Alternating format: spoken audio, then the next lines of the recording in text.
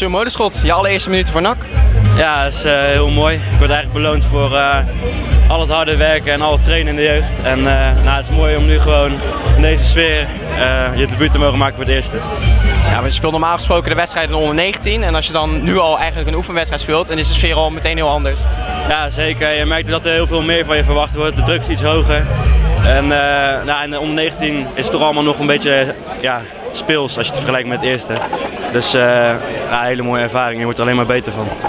Wat merkte je van niveauverschil? Was het niveauverschil daarmate groot vergeleken met uh, onder 19? Ja, eigenlijk wel. Uh, nou, vorig jaar hadden we, ik ben al tweedejaars onder 19.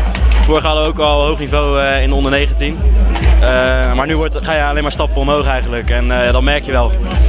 En je speelde vandaag onder andere als centrale verdediger, maar ook als rechtsback. Waar gaat jouw voorkeur naar uit? Uh, het heeft eigenlijk allebei wel zijn voordelen. Ik vind het eigenlijk leuk om rechtsback te staan, om veel aan te vallen, veel eroverheen te gaan. Uh, maar als centrale verdediger heb je het overzicht, de bal aan de voet. En ik denk dat ik dat ook wel goed kan. Uh, maar mijn voorkeur gaat denk ik wel uit naar rechtsback. En wat heeft Vreven vandaag tegen jou gezegd? Wat zeg je? En wat heeft Stijn Vreven vandaag tegen jou gezegd? Uh, nou, gewoon dat je je ding moet doen.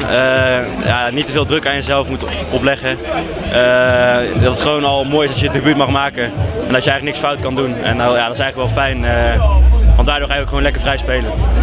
Hoe zie jij je toekomst voor je? Als we dan moeten kijken naar bijvoorbeeld onder 19, jong NAC of misschien wel het eerste van NAC. Wat zou jij het liefste willen of wat zijn de toekomstplannen voor jou? Uh, nou, ik ga er eigenlijk vanuit dat ik gewoon de meeste minuten zal maken in uh, onder 19. Ik hoop natuurlijk wel veel met uh, jong meedoen en zoveel mogelijk al met één mee te trainen. Zodat ik volgend jaar kan aansluiten. We zullen maar vanuit gaan dat je volgend jaar aan kan sluiten bij NAC 1. Dat zou ik wel mooi vinden. Dankjewel.